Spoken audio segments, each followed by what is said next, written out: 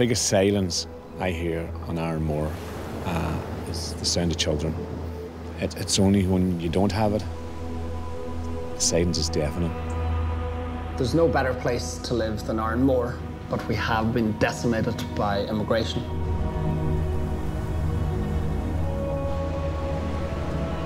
We're working to make this the most connected island in the world. I don't think we're putting too fine a point on it when we say that this connection is the electrification of the 21st century. With the speeds we're putting in here, you could work just as easily as you could in Dublin or New York or London. Being able to work in Arranmore means families can live here, and that's a game changer. When you can see, you know, 20 children coming in here who are all national school age, they're the future.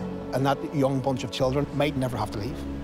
This project could actually be the saving of the island. This is about people and about making a difference.